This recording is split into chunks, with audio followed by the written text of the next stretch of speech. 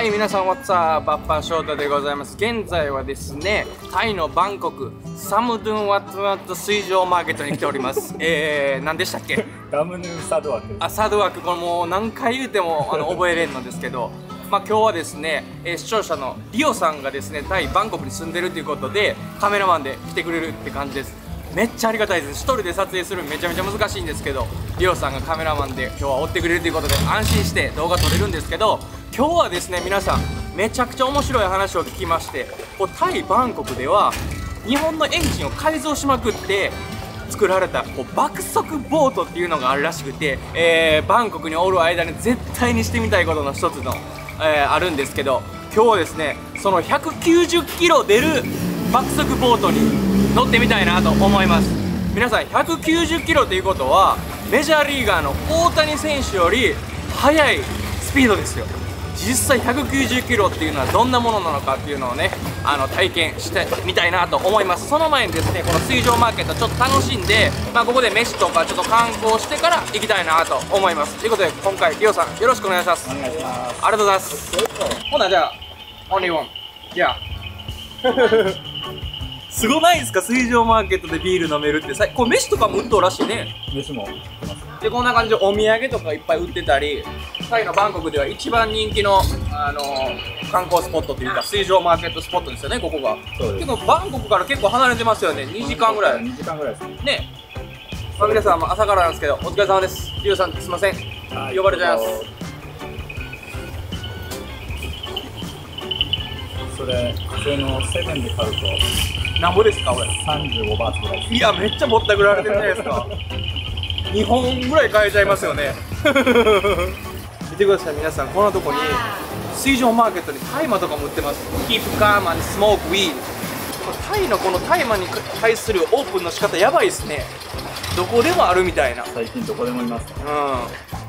まあでも全然あのー日本人の方来られたら多分楽しいと思いますね。結構一日一日はちょっと半日ぐらい楽しめそうな感じですね、うんそうですね。ん。今レストランみたいなのに着いたんですけどでまあ聞いた話によると、まあ、コロナで観光客が戻ってるけど経営が厳しいということでここでちょっとご飯食べてあげようかなと思います、はい、まず一つ目に頼んだのはこれなんていう名前なんですか？これは英語で言うとモーニンググローリーなんですけどはちょっとシャキシャキしててい人気なんですか？結構、に日本人に合いそうですか？合うと思います。おおなるほど。いただきます。うん。あ結構味強いね。うん塩辛い感じなんですかね。辛い感じの味とガーリックの味がすごいミックスされてて美味しいですね。なんかお酒とかに合いそう。そうおうん。酒に合います、で続きまして、えーこれパイナップルフライドライスっていうチャーハンなんですけど、まあ、写真で見たのは僕パイナップルの器に入ってくるんかなと思ったらまさか入ってこないという、まあ、パイナップルが入ってるだけなんですけどちょっと入ってくるんですけどね。あ普通は入ってくる。お店で食べると。あそうなんやね。結構手手抜いてますねあの店 まあじゃあいただきます。うん。これもちょっとあのー味濃いめですかね。ね結構胡椒がバーッとかけられてる感じで。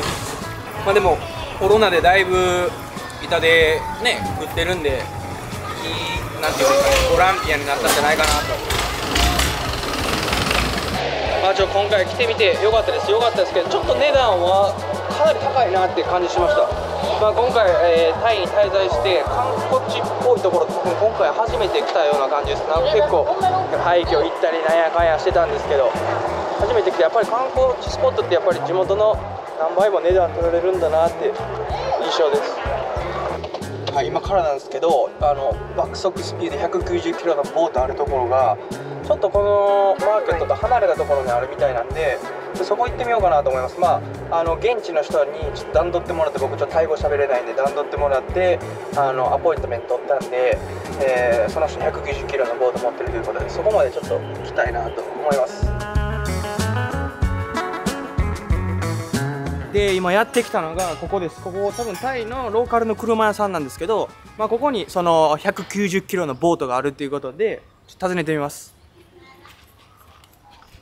Hello Hello สวัสดีครับ Sawadika Yeah So nice to meet you Shota from Okay. Japan Nice to meet you eh? Okay. So you have a high-speed boat, yeah? So I want to see some engine on the boat. It's okay? Okay. Yeah. こ Maybe you show me. ได้ครับ Yeah. 彼の工場では純正のエンジンや車の部品などをレーサーや走り屋さんのために改造してカスタマイズしてあげる工場みたいです。oh, イスズね This one. 結構イスズの車がめちゃめちゃタイに走ってるということで、なんかさっき聞いてくれたんですよ。イスズの車ってこう輸入してるのか日本から。どうでした？か？えっ、とほとんどタイ生産だそうですあ、そうなんですか。はで日本のイスズの会社がタイに回ってそこで生産してタイに回ってるって感じなんですか？い販売されてる。んです鈴の車本当に多いですタイあ、そうね。なんかこのタイプのトラックタイプがめちゃめちゃ多くないですか？なんかね。でイスズなんか結構日本であんまり見ないじゃないですか？なんかトラックぐらいしか見ないんですけど、普通車のイスズがめちゃめちゃ多いっていう。僕の友達ちなみにイスズで働いてるんですよ。でよく電話で「タイお前イスズの車めちゃめちゃ走ったやろ」って よく言われるんですけど ほんまにイスズの車が走ってるって感じだね。ね。このじゃあエンジンってめっちゃでかいんですか？そんなに大きくないですえっと 1.9cc 1.9cc でこうホースパワーとかで強いんですか？これだと350ぐらい。350馬力。馬力。へえ AT なのでギアが AT なのであんまりあのエンジンのパワーを上げすぎると問題になる、うんトランスミッションとうまく働かなくなっちゃう。え、いすゞの車なんですけど、これもまたすごい、僕あんまり中身どっかでわからないですけど、これってすごいいじってる方なんですよね。聞いてみたら、 くらいのこれで、エンジンは完了らしいです。結構スカスカのように見えて、これでほんまに走るんかと思うんですけど、これだけで走るみたいな。え、こっちの方がエンジンは大きいんですかこれちっちゃいですね 1900cc こっちは 1900cc ってでもカーことですボがついてるんでああこれたこれがターボなんですかก็คือตัวที่หนึ่งอยู่ตรงนี้ครับ これが ตัว ターボที่สองอยู่ข้างล่างนี่ へえターボがついたと何がエンジンのかもちょっとわからないですけどブーンっていくってことですかそうですねあーなるほど出力が上がりますうん なんでこんなスカスカなんかというとバッテリーとかいろんなものをあの荷台の下につけてるみたいです。なかなか見えへんけど。えー、皆さんこれが500馬力の、えー、パワーらしいです。すごいな。こんな車で500馬力やったら相当スピード出るんやろうな。ホンダのターボ。これってあターボやからこんななんていうんですか。そうですね。このこんなのあるんですか。すごいな。これなんかレース用とかなんかそんなんなんですかあの遊あー。遊ぶようだそうです。なるほど。ストリートレースにこんなんとか使うんや。この車でなんと220キロ、えー出したみたいです。もっと出るらしいんですけど、まあ、普通の道路なんでちょっと怖くてこれ以上走れなかったっていうことらしいです。220キロすごいぞ。面白そうなエンジン見たんですけどこれがな何でしたっけ？えーとトヨタの7系エンジンです。ねもともと車にあったエンジンを船用に改造したみたいな感じですか？そうみたいです。ねうわすげえ。トヨタのエンジンですよ皆さん。日本製ですよこれ。こういう改造するのが仕事ってことやね彼の。そうです。ね日本のエンジンってやっぱりあのーいいですか？まずなぜ質がいいかってところはあの彼もよくわからないけど、まあ、日本のものは質がいいと。ああなで、うん、大体あのタイに来たら改造するそうですでエンジン本当は、うん。そうです。本当はそんなにパワー出ないんだけど、うんうん。彼らが改造することによって200キロとか1スピードにした。じゃあ質のいいエンジンをさらに改造してもっとごっつくするみたいな。ね。なるほど。あでも日本のエンジンがこうやって使われてるっていいですよねタイのこの地で。ね。すごいです。うん。さすが日本のトヨタのエンジンです。ここに船にもうつけられてるエンジンがあるんですけどこれ見てください皆さん。めちゃくちゃでかいですよあっちよりなんかこっちの方が大きいように感じするんですけどこれが馬力何歩ですか และนี่แรงมา500 500馬力だそうです500馬力でこれは何キロぐらい出るんですか130 130ぐらいですあこれは130ぐらいでこのボートの形によっても違うんですかってちょっと聞いてみたいんですけどあスピード เล็กลงแล้วก็น้ำหนักเบาขึ้น ก็วิ่ง ー やっぱりその重さがスピードに関係してくるらしいで。エンジンと船も含めて600キロぐらいあるんですけど、はいはい、そうするとやっぱりちょっとスピードが抑えられちゃう。なるほど。だからもっと軽いエンジンと軽い車体というか船を使っていくともっと速いスピードが出る。なるほど。そういうのを総合的にしてスピードを出すってことだよね。う、わあ、面白い。何も大きいから言うて速いスピード出るとかでもなくって感じでね。手を加えてるかなるほどね。はい。で今からなんですけどこれが今回乗るボートとエンジンらしいんですけどまあこれがなんか700馬力ぐらいあるらしくてまあ、160キロ以上余裕で出るらしくて、まあ、190キロ出ると言われてるボートらしくてです。でこれ以上大きいボあのエンジンもあるらしいんですけどそれ以上大きいエンジンをこのボートに乗せてしまうともう危なすぎていけないらしいですね。そうですね。はい。でお値段ちょっと聞いてみたんですけど皆さんなんぼだと思います？このエンジン。なんと皆さんエンジンだけで160万らしいです。バリ高いっすよ。であのトヨタのやつが10 20万ぐらいって言ってました？20万バーツなんでやっぱ80万近くああであのエンジンからどんどんどんどんターボやなんやかんや改造してこの値段になるって感じやんね。そうですね。ごっついな。でまあこれはなんかあのいすゞのあのトラックとかに、えーつけるサイズのエンジンですよね。そうですね。ピックアップで DMAX っていう車があるんですけど。そうやね。それに乗ってるエンジンです。うん。でどんな人が買うのかって聞いてみたところやっぱりレーサーと同じくやっぱボートでこうアドレナリンを出したい人とかが買うみたいです。んでこのなんていうんですかねハイスピードボートのなんかレースとかもあるみたいで。でみんなで競い合って誰が一番みたいな。まあそれもほんま車と同じような感じですよね。車の、えー水上版みたいな感じの人たちがよくこの何ですかね爆速ボート買ったりするみたいです。このエンジンなんですけど改造とかするに全く免許とかもいらんらしくてもうその辺はもうほんまタイのゆるゆる感満載ですよね。でまあ船に乗るのは一応お客さんを乗せるのであれば免許がいるらしいんですけど、まあ、自分のレジャーだけで遊ぶのであれば免許とかいらないみたいです。まあ今回僕が乗るんで、まあ、免許を持ってる人がこう運転してくれるみたいなんですけどその辺もなんかすっごいゆるゆるや。絶対日本とかやったらそういうの免許絶対必要やもんね。でこれもめちゃめちゃ面白かったんですけど、まあ、これぐらい改造したらもう改造しまくってるんでまあ3万キロから4万キロぐらいしか走らない。やっぱ寿命もだいぶ、えーエンジン改造することによって下がるらしいです。面白いですね。すごいこれでもちょっと危なくないですか？なんか改造しまくったっていう話ですよね。やばいっすよ。いや僕走ってる途中にめっちゃくっついてるらしいんで。あそうなんですか。もう走ってる途中に僕飛んでいっちゃったりとかしないですかね？なんか上に浮き出したりみたいな。それちゃんと撮影しておきます。ありがとうございます。はい、ということで今から緊張の一瞬です。今からボートに乗り込むんですけど、まあここの川はまあ結構狭いということで、まあ、違う場所に移動してから最速のスピードに乗るということで。So he's a driver. You driver? Oh yeah. Uh, take care, please. I don't wanna die. Oh, my leg died.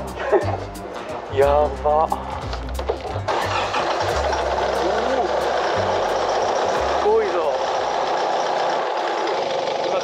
応援集のちょっと早い版で行くみたいです。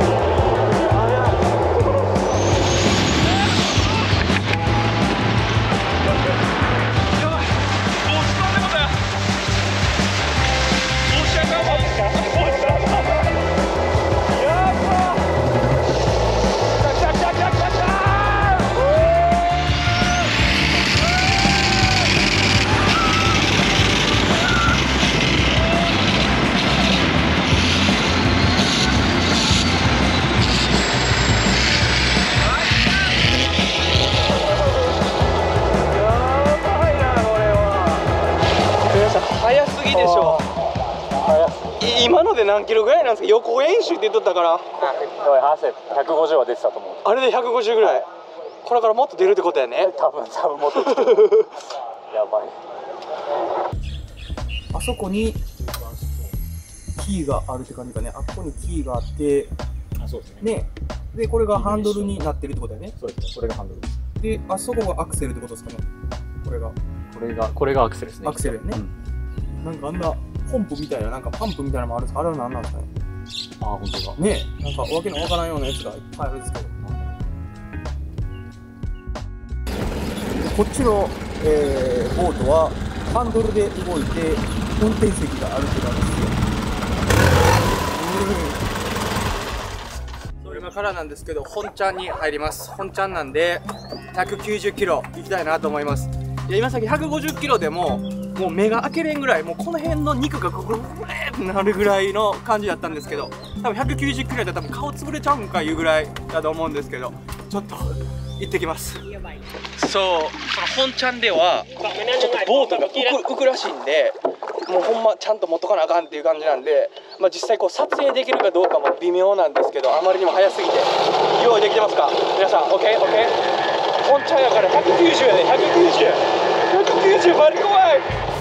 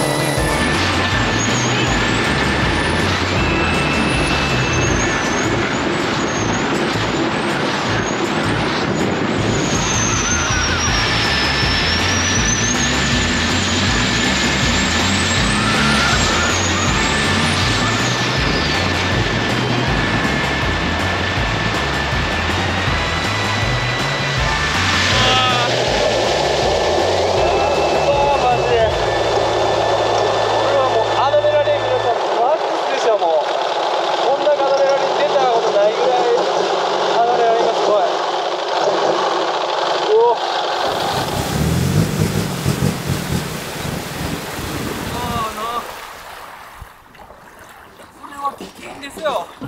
皆さんもうカメラこう持っとったらもう飛ばされてまうんかいうぐらいめちゃくちゃ速いです。髪型変わってますよねもうちょっと。あまりにも速すぎて。やば。死ぬか思ったほんま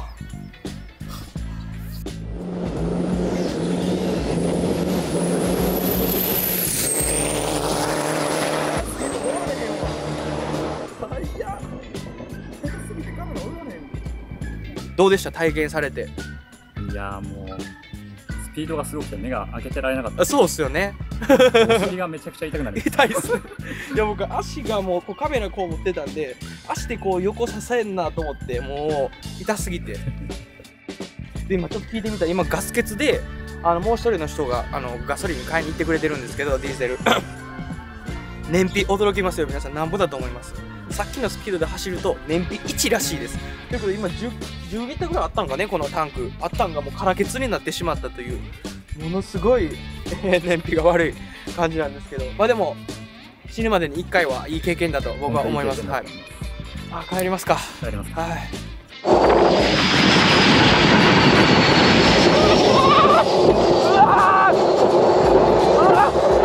い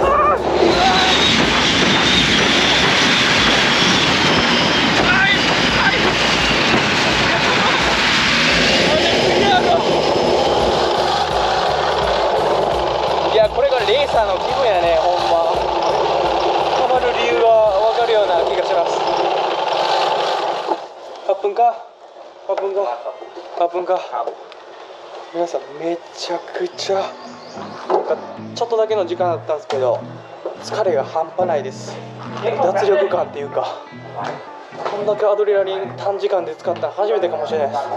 めっちゃ疲れたで、まあ、聞いた話によるとあのボートとかも、まあ、エンジンの大きさとボートの種類あとドライバーする人によって全然スピードが変わってくるみたいです。ねカプンカン Thank you so much. It was very nice experience. めちゃめちゃいい体験でした。えー、もうこれは絶対皆さんタイでしかできない遊びだと思うんで。で、まあ、概要欄の方に一応皆さんやりたい人おったら連絡してくれたらできるみたいなんで概要欄の方も皆さんチェックイアウトしてください、えー、迫力ある。楽しいああ迫力ある、えー、頭全然回ってない。もうもうレースでもう頭飛んで全然回ってないんですけど迫力ある遊びでした。ということで皆さん今回は以上でございます。ありがとうございます皆さん Thank you カップンカー。คนไทยยินดีต้อนรับครับแล้ maybe I come again また来てください また来てください。ありがとうございます。はい。ありがとうございます。りょうさんもありがとうございます。今日はありがとうご。はい